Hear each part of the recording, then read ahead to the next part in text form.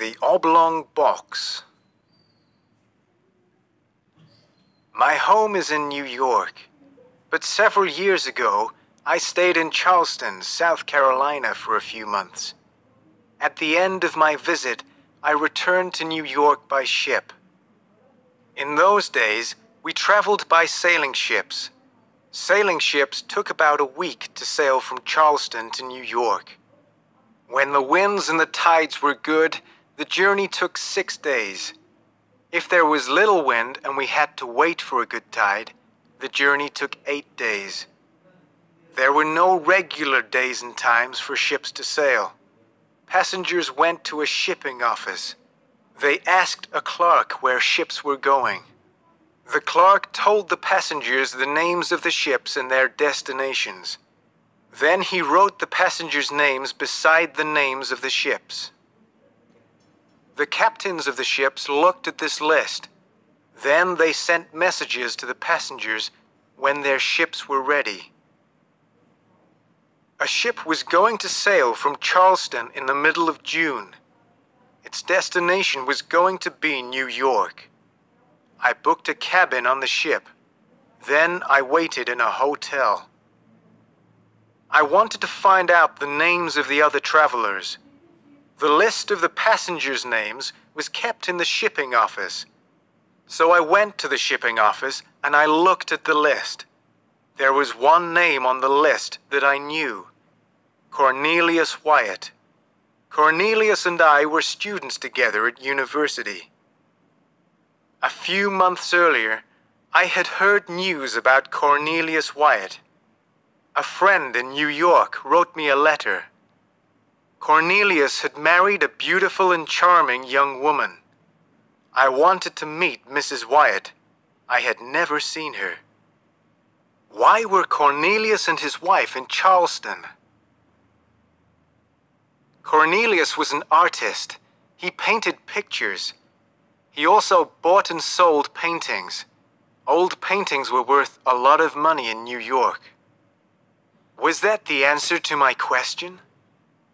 Maybe Cornelius had found a valuable painting in Charleston. There were many old families in South Carolina. The families had brought many paintings from Europe. Was Cornelius taking an old painting to New York? I was going to find the answer to both these questions soon. We were traveling together on the same ship. A captain sent a message. His ship was going to sail to New York the next day, June 15th. I went to the harbor and boarded his ship.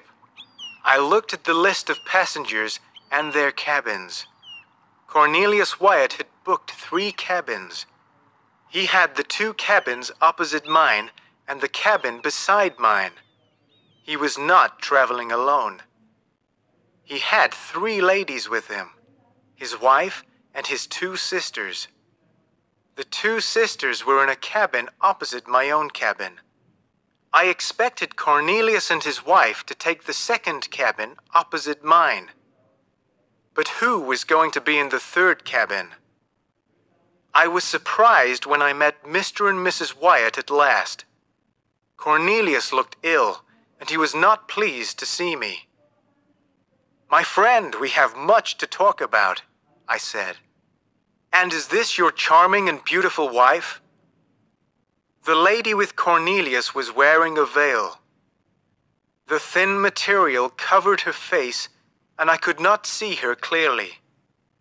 But she said good morning to me politely. She spoke slowly. She had the accent of South Carolina.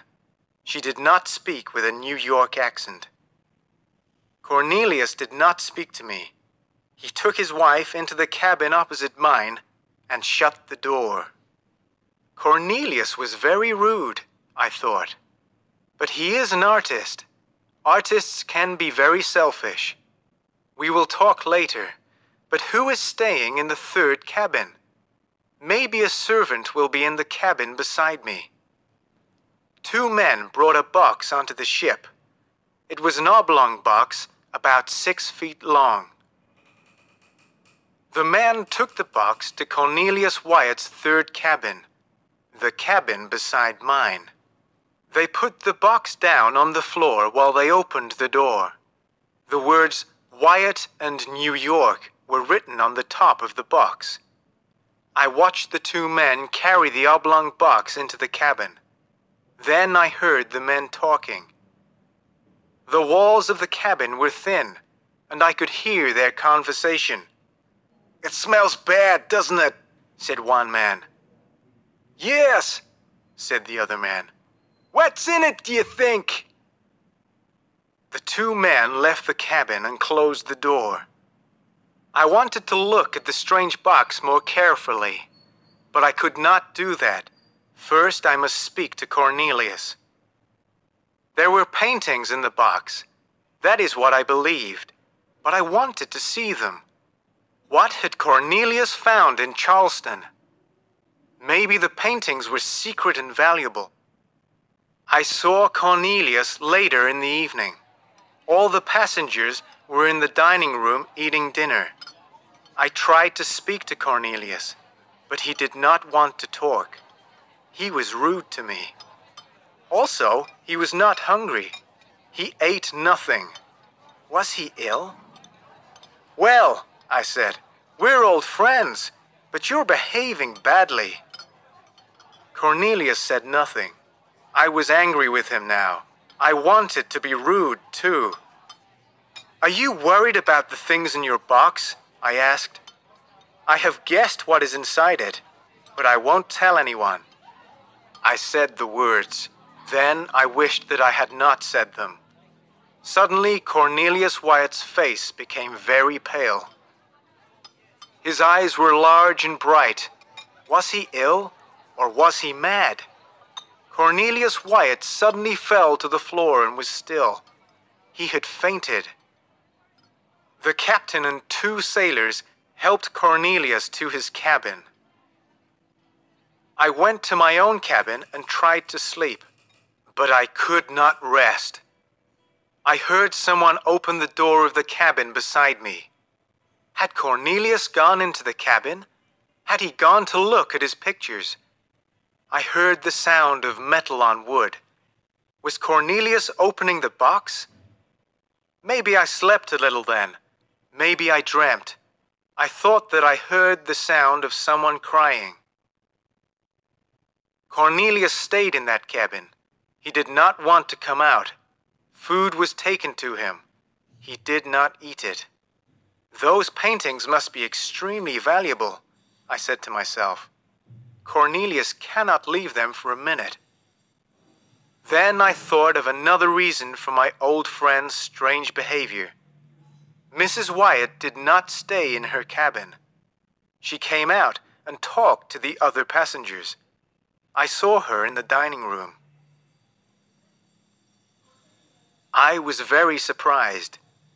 I had been told that Mrs. Wyatt was beautiful and charming, but she was neither beautiful nor charming, and she was not young. My friend had said that Mrs. Wyatt was from New York, but she spoke with a South Carolina accent. Was this the reason for my friend's strange behavior? Had Cornelius made a mistake? Had he married the wrong woman? Was he sad and upset about this? The door of the cabin was locked and Cornelius did not come out. What was he going to do when we reached New York? Then something happened, and I forgot Cornelius Wyatt's secrets. A few days after we left Charleston, there was a storm. The wind blew and the sea became rough. The waves grew taller and taller. It was a very bad storm. It blew the ship south, back toward Charleston. The wind was very strong. It blew all night. The ship moved from side to side. It almost turned over. The mast broke. The captain could not steer the ship, and it went toward the shore. The ship hit some of the sharp black rocks on the coastline and it started to sink. Soon, seawater came along the corridors and into the cabins. Leave the ship! The captain shouted to everyone. Quickly, go to the small boats! Do not stop to take anything with you! I ran out of my cabin and I saw Mrs. Wyatt. I saw Cornelius Wyatt's two sisters. The sailors helped us to get into a rowboat. There were 15 of us in the boat. The captain was with us. It was daylight, but black clouds were in the sky. We could see land two miles away. The wind was blowing toward the land. We looked up at the ship. It was now low in the water. The ship was sinking. Soon it was going to be under the sea. Suddenly, we saw Cornelius Wyatt. We had forgotten him. Cornelius was pulling the oblong box toward the side of the ship. He was pulling the box toward our rowboat. His eyes were wild. He was terribly frightened. Mr. Wyatt! shouted the captain. Get into this boat now! The ship is sinking! I cannot leave my box, Cornelius replied. I must get into the boat with my box. No! shouted the captain. We can only take you! You cannot bring your box! Quick, get into the boat! The ship is sinking! I cannot leave my box, Cornelius shouted again. Is your box more important than your life? I shouted. Cornelius looked at me. I saw madness in his eyes. He hated me. He hated my question. Yes, yes, yes! Cornelius shouted. He lifted the box onto the side of the ship. As he pushed it over the side, he held onto it. The box and Cornelius fell into the sea. Both the man and the box went straight down into the water. Cornelius and the oblong box did not come up again. Get the boat away from the side of the ship! shouted the captain. We pulled on the oars and the rowboat moved away from the sinking ship. In a few minutes, the ship had sunk beneath the sea. The wind blew our rowboat to the shore. At last, we were safe. A month later, I met the captain again. We talked about the storm and our escape from the sinking ship. We talked about Cornelius and the oblong box. It was a mistake to bring that box onto the ship, the captain said. The box brought bad luck to the ship. I did not want to take the box. What was in the box? I asked. The body of Mr. Wyatt's dead wife, the captain replied. Mr. Wyatt's wife died suddenly on June 14th. She died in Charleston on the day before we sailed. Mr. Wyatt had to return to New York and he wanted to take his dead wife's body with him. None of the other captains wanted to carry a dead body in their ships.